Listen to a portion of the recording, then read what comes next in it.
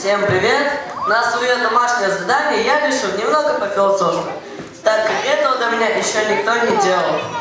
Представьте себе карту, вот карта России. Она, как говорят, карта России похожа на лошадь. Два- вот на востоке у нас голова, а москвичи живут вот здесь. Как говорят, бизнес Москве.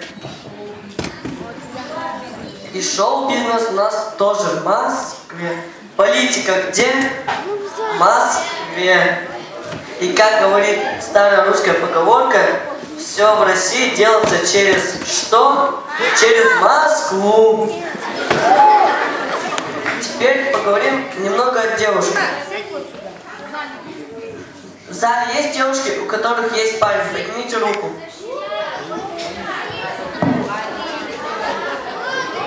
Вот, девочка, да, вот ты. Как тебя зовут? Да, да, ты.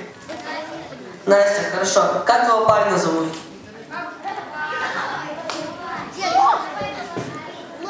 Настя, как зовут твоего парня? Дима. Хорошо, пишем. Настя. Настя плюс Дима. Равно любовь.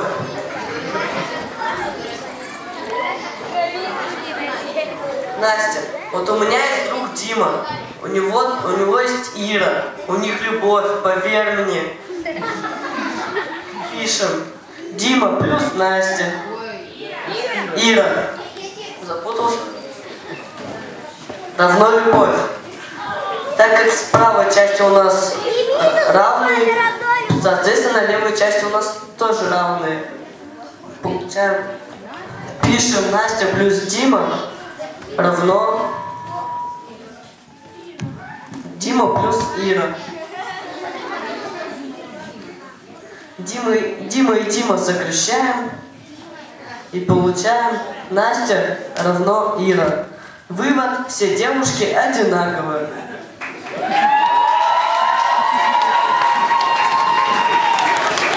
Все девушки, они настолько сложны, что я просто не могу в них разобраться.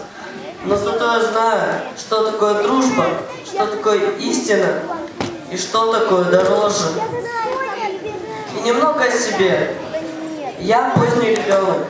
Когда я родился, мне было уже два года. Пять лет у меня обнаружили врожденный кукиш на правой руке и, и раздвоенный подбородок в тяж- тяжелой форме. Затем меня отправили в интернат для некрасивых детей. Затем в Суворовское училище для левши.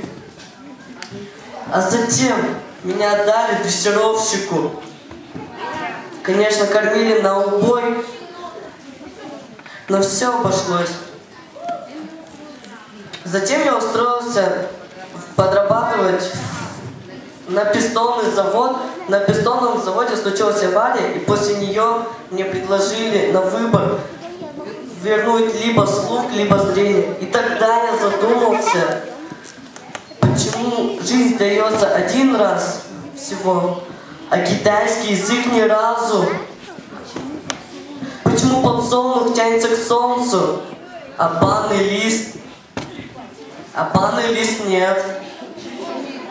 Почему в Америке статуя свободы стоит с факелом в руке, а у нас с серпом и мужиком? А вы когда-нибудь спрашивали у себя, почему у философа такая же тельняшка, как у десантников? Нет, вот. А меня десантники спрашивали в тот самый день, когда они ходили по городу в своих костюмах и спрашивали всех о всем. Мной так и надо. Пока меня не отпинают, не отпинают, я, не, я все думаю, что со мной шутки шутят. А теперь поговорим о любви. Мужчи- мужчины говорят, что женщины любят ушами, а мужчины глазами. Так это как? Это что ли надо подойти, в ухе поморгать, и вся любовь, что ли? Так что, если вы хот- захотите узнать, что такое истина, вы спросите меня, и я вам отвечу. Истина, друзья мои, в том, что жизнь человека подобна минуте времени в песочных часах. Вас ставят, и вы есть. Вас переворачивают, и вас нет.